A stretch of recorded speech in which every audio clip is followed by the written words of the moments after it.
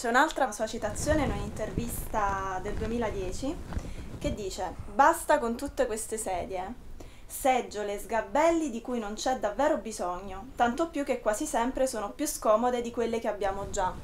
Il progetto ha ragione d'essere solo in due casi, o migliora qualcosa che c'è già o propone qualcosa di inedito. Eh, ma lei dice, mi fa le domande e si capisce quello che lei ha letto è, è, meglio di quello che posso dire oggi io perché quando l'ho scritto l'ho fatto con maggiore riflessione. Comunque eh, eh affidiamoci alla spontaneità. Certo. è verissimo.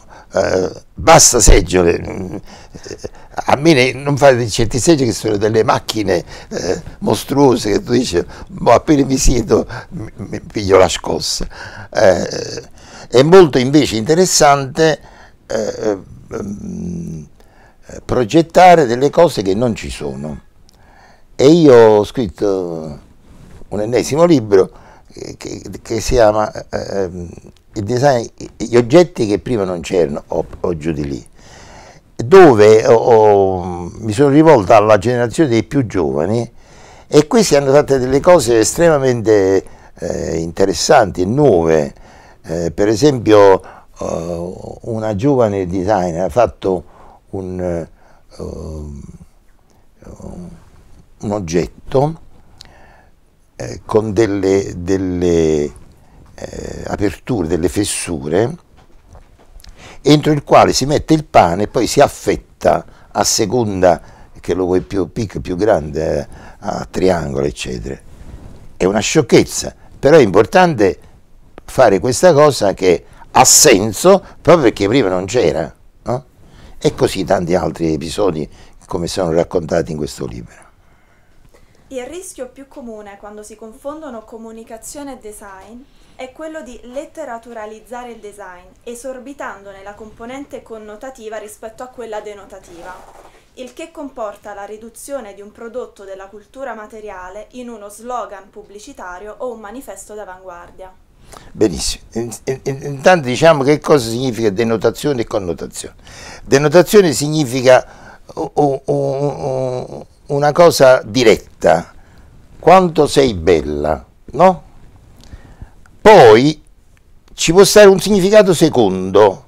Dico quando sei bella pensando o anche comunicato perché mi ricorda una mia eh, amante, una mia parente, una mia cosa, cioè è un fatto in assenza, mentre la frase quando sei bella è in presenza. Così un oggetto di design è, è, è presente e quindi ha un valore denotativo. Se invece eh, parliamo di un libro che non c'è, ti ricordi quel libro? Eh, siamo sul piano connotativo. Detto questo, perché eh, il, il, design come comunicazione rischia di diventare letteratura e perde il valore denotativo? Perché qua bisogna risalire alla teoria della pura visibilità, che, che è stata la teoria che ha dato inizio al pensiero e alla critica moderna. Questa teoria diceva che la forma contiene anch'essa il contenuto.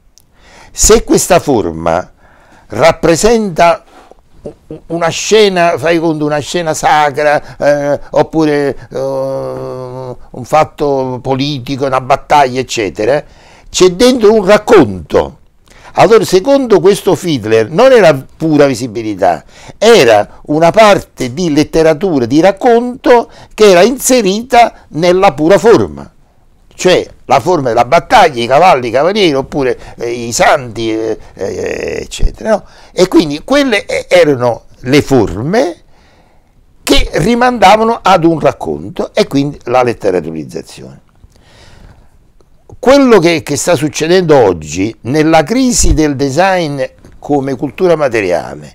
E invece che questo design serve a comunicare lo status symbol e, e questo e quell'altro eccetera eccetera. È tutto un modo eh, secondo me eh, inquinante diciamo del, del, del significato eh, puro e assoluto di questo oggetto di cultura materiale e infatti si è arrivata allora a questa, questa epoca eh, dell'architettura di carta, della comunicazione disegnata, promozionale e pubblicitaria, come lei l'ha definita.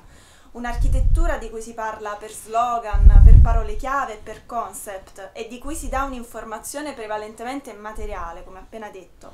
A chi è affidata oggi la materialità dell'architettura? Beh, intanto queste cose che si dicono sull'architettura eh, sono dette da chi l'architettura non la fa. Se tu pigli un architetto vero eh, che lavora, eccetera, beata lui, lui fa queste cose e, e non ha bisogno di, di ricamarci sopra eh, o, eh, racconti o altre cose.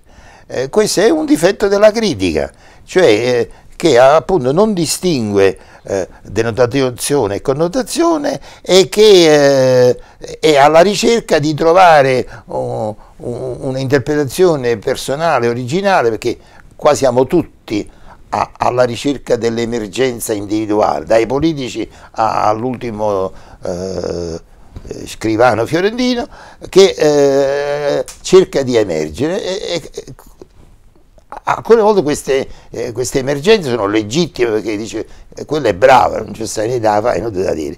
Tante volte invece sono eh, gente non brava che però è furba e fa questi, questi giochetti, eh, questo design serve per questa altra cosa e ti inventa un motivo eh, oppure eh, col design vuole fare una battaglia ideologica, il che non non è proprio perché come dicono gli inglesi l'architettura non racconta favole. No?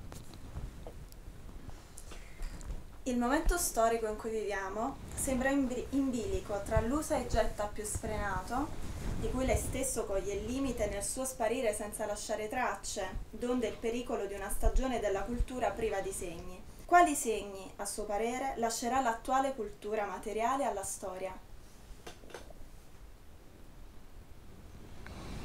Eh, questo è difficile prevederlo, però eh, certamente ci sarà eh, per questa nostra epoca qualche oggetto eh, emblematico. Eh, poco fa abbiamo parlato di telefonini, certamente ci saranno i vari modelli di computer, ci saranno eh, tipi di, di, di, di, automobili, cose, eccetera insomma, eh, questi oggetti o resteranno materialmente o resteranno nella rappresentazione, ma certamente quest'epoca è contrassegnata, a meno che non diventi tutto usa e getta, il che è anche probabile, perché non è detto che usa e getta è fatto soltanto per, per gli oggetti di plastica o di, di, di cartone.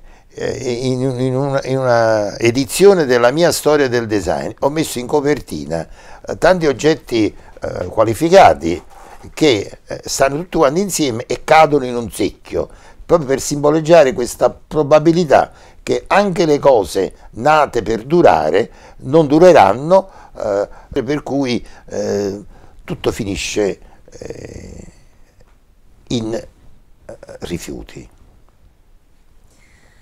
Gran parte della cultura architettonica italiana è stata impegnata per decenni nel tentativo di definire un'autonomia disciplinare per l'architettura e il progetto della città, guardando alla storia per rintracciarne sia gli elementi che le regole di assemblaggio. Quale pensa che sia l'eredità di quella stagione culturale, in un tempo come il nostro, in cui sembra imperversare, soprattutto nel lavoro delle archistar, quello che potremmo definire un design a scala urbana? Dunque, come ho accennato altre volte, io resto fedele all'idea che il razionalismo è stato lo stile più eh, rappresentativo perlomeno del Novecento oh, e quindi eh, finché eh, si resta nell'ambito del razionalismo le cose funzionavano sia per l'architettura sia per l'urbanismo sia per il design. Quando si è rinnegato il, il, il, razionalismo, è venuto fuori per esempio la tendenza delle macrostrutture, le quali che cos'erano? Erano via, un punto di incontro fra l'urbanistica e l'architettura. Indubbiamente un'idea intelligente, però era un modo per dare un colpo eh, notevole all'urbanistica. Poi ci sta un'altra grossa differenza che i tempi di attuazione dell'architettura sono diversi dai tempi di attuazione dell'urbanistica, per cui se lei mi, mi, mi, mi, commissiona un edificio oggi, fra qualche anno, due, tre, lo vedremo. Se mi commissiona un piano regolatore, questo resta una specie di programma aperto che è una contraddizione in termini, un programma aperto, un programma si chiude, io voglio fare questa determinata cosa in tanto tempo e questa cosa l'urbanistica contemporanea non l'ha fatta, per cui la crisi dell'urbanistica legata a fatti politici, economici eccetera è, è, è una crisi dovuta proprio a una carenza disciplinare sostanziale de, de, dell'urbanistica stessa.